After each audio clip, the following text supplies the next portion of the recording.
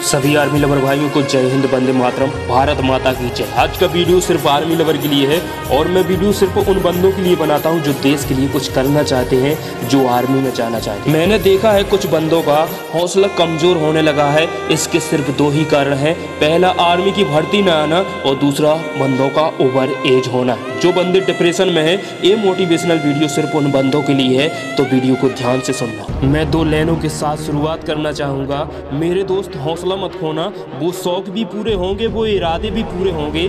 बस मेहनत करते रहना। एक दिन आर्मी में जाने के सपने भी पूरे होंगे। आर्मी में जाने के सपने भी पूरे होंगे। आप सिर्फ़ अपनी मेहनत पर ध्यान दीजिए।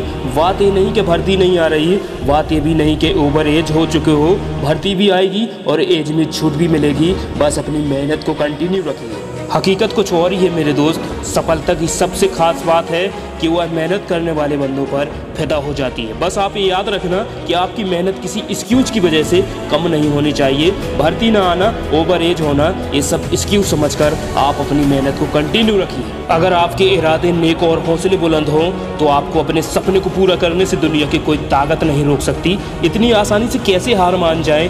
दिन रात दौड़ दौड़ कर खून को चलाया है।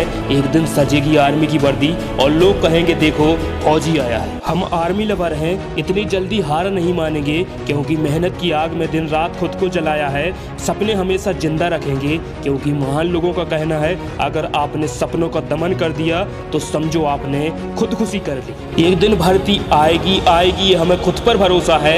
एक दिन आर्मी की वर्दी सजेगी, इस जिस्म पर हमें अपनी मेहनत पर भरोसा है। आर्मी लवर की डिक्शनरी में एक्सक्यूज नाम का कोई वर्ड नहीं होता क्योंकि हमें पता है, सफलता तब मिलती है जब आपके सपने आपकी एक्सक्यूज से बड़े हो जाते हैं। हमें जॉब नहीं करना, क्योंकि जॉब में सिर्फ़ ज़रूरतें पूरी होती हैं। हमने तो इंडियन आर्मी में जाने का शौक पाला है, ये जिद्दी और पागल ही कर सकते हैं, जिसे आर्मी लवर कहते हैं। सफलता हार मानने खुद को कमज़ोर समझने से नहीं मिलती, क्योंकि आपको मुश्किलें नहीं रोक सकती। बस आप अपने आप को कभी मत रोकना।